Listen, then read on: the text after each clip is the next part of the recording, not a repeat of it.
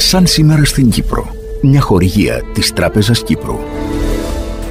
Σαν σήμερα, 12 Αυγούστου στην Κύπρο. Από την Εγκυκλοπαίδεια Πολυγνώση.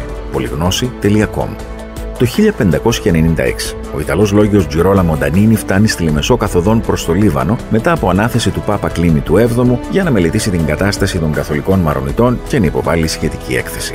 Το 1948 η διασκεπτική τερματίζει τις εργασίες της χωρίς αποτέλεσμα. Οι Άγγλοι αποσύρουν την πρόθεσή τους να προχωρήσουν στην εφαρμογή ενός νέου φιλελεύθερου συντάγματος. Το 1968 η Κυπριακή κυβέρνηση κατόπιν διεθνών πιέσεων επιτρέπει την επάνωδο του Ραούφτενκτά στην Κύπρο. Ορίζεται ως εκπρόσωπος των Τουρκοκυπρίων, των οποίων και αναλαμβάνει τυπικά την ηγεσία.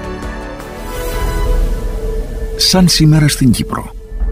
Μια χορηγία της Τράπεζας Κύπρου.